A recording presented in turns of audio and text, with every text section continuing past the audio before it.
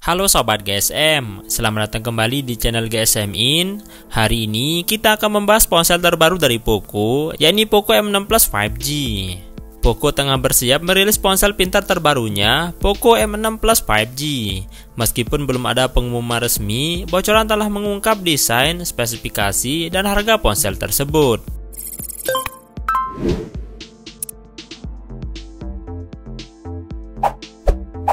Menurut laporan 91 Mobiles, Poco M6 Plus 5G akan tersedia dalam dua versi. Model RAM 6GB dengan penyimpanan internal 128GB dengan harga 2,7 juta rupiah dan model RAM 8GB dengan penyimpanan internal 128GB dengan harga 2,9 juta rupiah.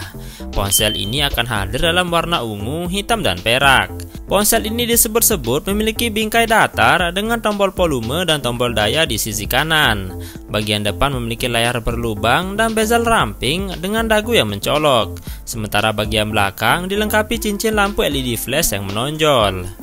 Bocoran sebelumnya menunjukkan bahwa perangkat tersebut akan menjadi versi Redmi Note 13R yang diberi merek ulang, yang berarti kita dapat mengharapkannya memiliki panel LCD berukuran 6,79 inci dengan refresh rate 120 Hz dan ditenagi prosesor Qualcomm Snapdragon 4 Gen 2. Untuk optik, kemungkinan akan mencakup sensor utama 108 megapiksel, sensor sekunder 2 megapiksel, dan kamera depan 13 megapiksel.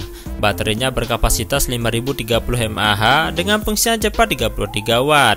Sensor sidik jari dipasang di samping, dukungan SIM ganda, port USB Type-C, penyimpanan UFS 2.2, jack headphone 3,5 mm, dan peringkat IP53 untuk ketahanan terhadap debu dan air. Perangkat tersebut baru-baru ini terlihat di Geekbench dengan RAM 6GB dan chipset Snapdragon 4 Gen 2 AI. Tanggal peluncurannya saat ini masih menjadi misteri, namun kami berharap mendengar kabar dari merek tersebut dalam beberapa minggu mendatang. Jadi nantikan terus update terbaru dari kami. Nah itulah tadi bocoran terbaru dari Poco M6 Plus 5G yang akan segera diluncurkan. Apa pendapat Anda tentang ponsel ini? Beritahu kami di kolom komentar. Terima kasih telah menonton, sampai jumpa di video baru lainnya.